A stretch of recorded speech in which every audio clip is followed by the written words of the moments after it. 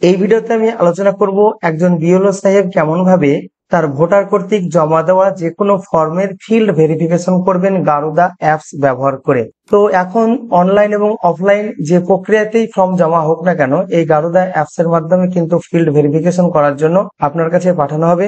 তার জন্য প্রথমে আপনাকে মোবাইলের যে গারুদা অ্যাপ রয়েছে, সেই অ্যাপটিকে ওপেন করতে হবে। সেটিকে ওপেন করার পরে এরকম ধরনের একটি ড্যাশবোর্ড বা হোম পেজ আপনারা প্রথমে দেখতে পাচ্ছেন। তো এখানে দেখুন যে টোটাল ফর্ম রিকোয়েস্ট অর্থাৎ এতদিন পর্যন্ত বা এই পর্যন্ত মানে আমি যখন ভিডিওটা তৈরি করছি সেই পর্যন্ত মাত্র একটি ফর্ম জমা পড়েছে।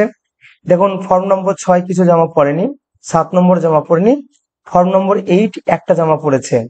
এবং দেখুন, এই ফর্মগুলো যদি সাত দিনের মধ্যে জমা পড়ে, তাহলে এইখানে দেখাবে।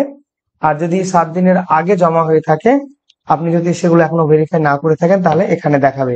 তো দেখতে পাচ্ছেন যে গত সাত দিনের মধ্যে একটি ফর্ম আমার বুথে জমা পড়েছে। এবার আমি এই জায়গাটায় টাচ করব, এবার পরের পেজে চলে যাব। তো এখানে টাচ করে যখন আমি পরের পেজে যাচ্ছি, তখন আমাকে একটি এরকম ধরনের পেজ দেখাবে মানে ফর্মটা ওপেন হতে একটু সময় লাগতে পারে, একটু ওয়েট করবেন। তারপরে দেখুন যে ফর্মটি জমা পড়েছে, যেহেতু আমার বুথে একটি ফর্ম জমা পড়েছে, তাই টোটাল চেকলিস্ট এখানে একটি দেখাচ্ছে।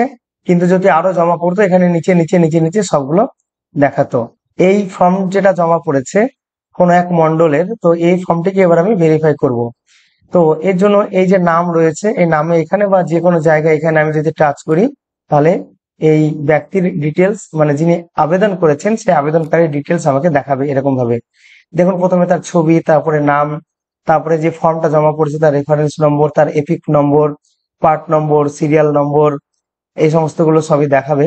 তারপরে এটা হলো আবেদনকারীর বেসিক ডিটেলস এবার যদি এই ব্যক্তির ভোটার তালিকায় কোন ডিটেলস রয়েছে সেটা জানতে চান, তাহলে এই যে নিচে রয়েছে যে view electoral roll details of the applicant এই জায়গাটায় আপনি টাচ করবেন। এখানে টাচ করার পরে এরকম ডিটেলস আপনাকে দেখাবে। প্রথমে এপিক নম্বর, তারপরে নাম, বয়স, তার জেন্ডার তার স্বামী বা পিতার নাম, তারপরে বিধানসভার নম্বর ডিস্ট্রিক্ট তারপরে স্টেট বা রাজ্য, তারপরে পিএস নেম মানে যেখানে ভোট হয় সেই ভোট গ্রহণ কেন্দ্রের নাম এই সমস্তগুলো দেখাবে।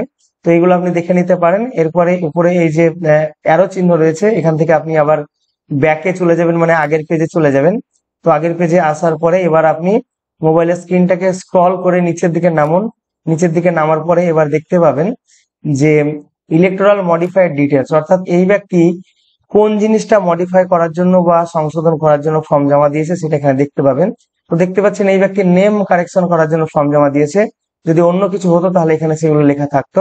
তিনি যে নেম কারেকশন করার জন্য ফর্মটি জমা করেছেন, তার জন্য যে ডকুমেন্ট জমা করেছেন সেই ডকুমেন্ট যদি আপনি দেখতে চান, তাহলে এই যে ভিউ যে অপশনটা রয়েছে, এখানে আপনি যদি টাচ করেন, তাহলে তিনি যে ডকুমেন্টস জমা দিয়েছেন, সেটা দেখতে পাবেন। তো দেখুন, তিনি আধার কার্ড জমা দিয়েছেন। তো এই আধার কার্ডটা যদি আপনি ভালোভাবে দেখতে চান, তো নিচে যে প্লাস মাইনাস চিহ্ন রয়েছে, এখানে টাচ করে আপনারা জুম ইন বা জুম আউট করে এটা বড় করে দেখে নিতে পারেন।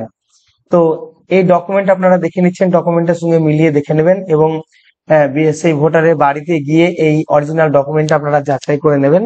তো যাক, এটা আপনি দেখে নিলেন, এই ডকুমেন্টটা কি আছে? এই ডকুমেন্ট দেখার পরে এই ক্রস চিহ্নে আপনি এখানে টাচ করুন। টাচ করে আবার আপনি আগের অবস্থায় বা আগের পেজে চলে আসুন। এখানে আসার পরে আপনি আবার নিচে নামুন।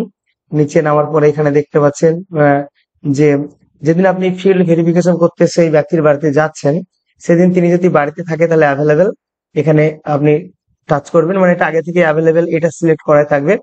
তো যদি তিনি বাড়িতে না থাকেন তাহলে অ্যাবসেন্ট যদি তিনি কোনো জায়গায় শিফটেড হয়ে যান তাহলে শিফটেড যদি মারা গিয়ে থাকেন ডেড আর যদি এই ব্যক্তি সেই ব্যক্তি না হয় তাহলে এখানে নো সাচ পারসন এখানে আপনি চেক করবেন। মানে এরকম টাচ করবেন, তাহলে এটা সিলেক্ট হয়ে যাবে। এরপরে এই উপরের এই ডিটেলসগুলো বা এই ব্যক্তির নাম টাম বা যা কারেকশন করতে চেয়েছে এবং তার ডকুমেন্টস যদি ঠিকঠাক থাকে এবং আপনি যদি একেবারে সিওর হন বা আপনি যদি সন্তুষ্ট হন, তাহলে above details are correct and verified এই যে বক্সটা রয়েছে, এখানে টাচ করে এটাকেও আপনি কিন্তু টিক করে দেবেন। তারপরে এই রিমার্কের ঘরে যদি আপনি কিছু লিখতে চান, এই ব্যক্তির সম্পর্কে বা এই কারেকশনটা সম্পর্কে, তাহলে এখানে মন্তব্য আপনি লিখে দেবেন। তো আমি যখন লিখে রেখেছি যে the application should be accepted অর্থাৎ এই আবেদনপত্রটি গ্রহণ করা উচিত, যেহেতু এর সবকিছু আমি ঠিকঠাক পেয়েছি। এরপরে নিচে যে সাবমিট অপশনটা রয়েছে বা বাটনটা রয়েছে এখানে আপনারা ক্লিক করুন। এবারে আপনাকে বলবে প্রসিড করবেন কিনা আপনি, অর্থাৎ do you want to proceed with form অর্থাৎ এই ফর্মটা আপনি সাবমিট করছেন কিনা, আর একবার সিওর হওয়ার জন্য আপনাকে জিজ্ঞেস করছে।